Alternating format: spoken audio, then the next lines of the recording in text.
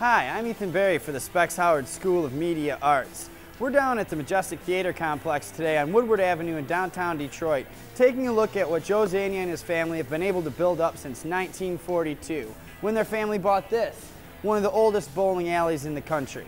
Let's go check it out.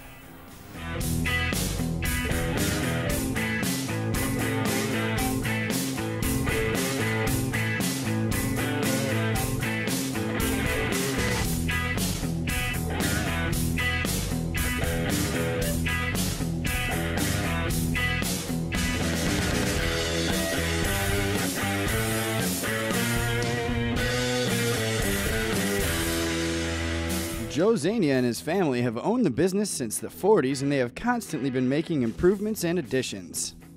The Majestic Theater Center started off as the Garden Bowl, which my father bought in 1946.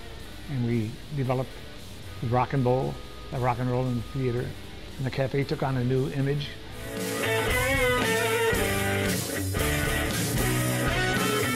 There seems to be a local controversy over where Harry Houdini held his last performance.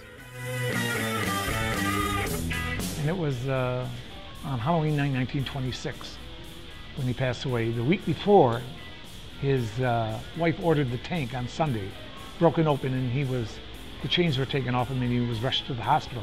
He died of peritonitis, poisoning, blood poisoning. He, that was caused by a punch in the stomach at McGill University in Toronto, where he used to be able to tighten his muscles of his stomach and take a heavy punch.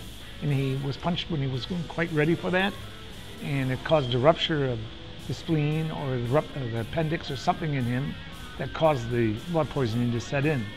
Then he came to Detroit and he did a week of shows here, but on the last Sunday, that's when his wife ordered him to be taken to the hospital, and he died the following Saturday, which was Halloween 1926.